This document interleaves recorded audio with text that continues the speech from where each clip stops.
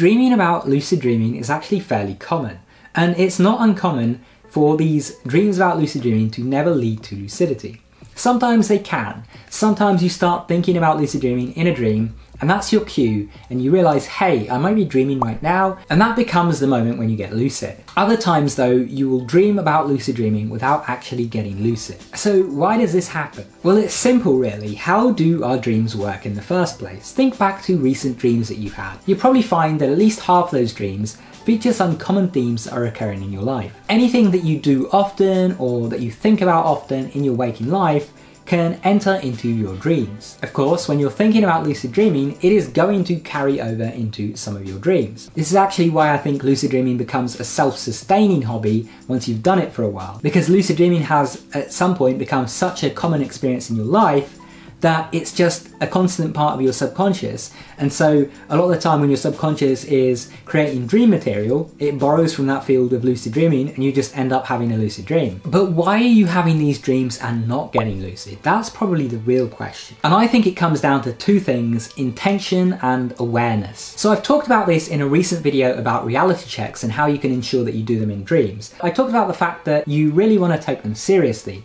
not just see them as some practice that you do while you're awake, but as a genuine test to see if you're dreaming, because you could be dreaming right now. And I think this difference in intention can affect us having those dreams about lucid dreaming and affect whether those dreams turn into a realization that we're dreaming or just stay non lucid, unaware, and oblivious. If you're never questioning your waking life, if you're always certain you're awake, then you're going to be certain in your dreams as well. So start questioning. Start asking yourself throughout the day if you could be dreaming and actually test it with reality checks. The other aspect of this is simply awareness. The less aware you are, the more you go about your life on autopilot, the more you do this in your dreams as well. After all, that's what our regular dreams are. That's what a non lucid dream is. It's a dream done completely on autopilot without any level of awareness. That's why, even when all of these crazy things are happening around you that don't happen in waking life, you have no clue and you just walk on naively ignoring them and not realizing that you're dreaming. So if you've had a bunch of dreams about lucid dreaming without actually becoming lucid, then you should try to work on your awareness while you're awake.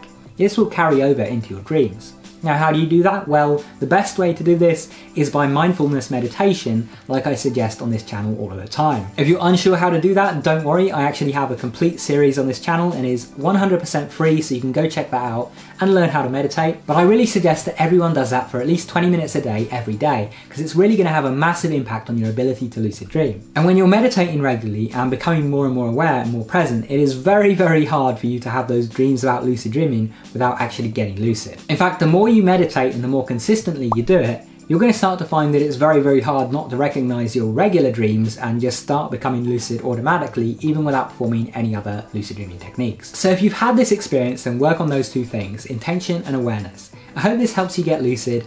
And if you want to learn more about lucid dreaming, be sure to check out my lucid dreaming book, The Lucid Dream Book. There'll be a link to it in the top right hand corner if you want to find out more about it and what it includes. And there should also be a link down in the description below. Anyway, thanks for watching. Make sure you subscribe and enable all notifications so you can stay up to date with my videos as they come out. And if you want to keep watching, check out one of those videos on screen, go watch that, and I'll see you there soon. Take care.